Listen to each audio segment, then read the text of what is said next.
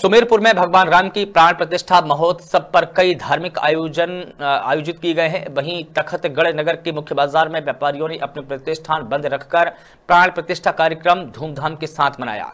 इसी कड़ी में तखतगढ़ व्यापारी संघ जितेंद्र कुमार चांदोरा ने बताया कि प्राण प्रतिष्ठा महोत्सव को लेकर संपूर्ण बाज़ार बंद किया गया और सभी व्यापारियों ने संयुक्त रूप से मिलकर मुख्य बाज़ार से जालोर चौराहे तक शोभा यात्रा निकाली और शाम को सभी ने अपने घरों और मंदिरों पर दीप जलाकर दीपावली मनाई। इस तरह बाईस जनवरी, सोमवार को सुमेरपुर तखतगढ़ ग्रामीण क्षेत्रों में कई धार्मिक कार्यक्रम आयोजित किए गए।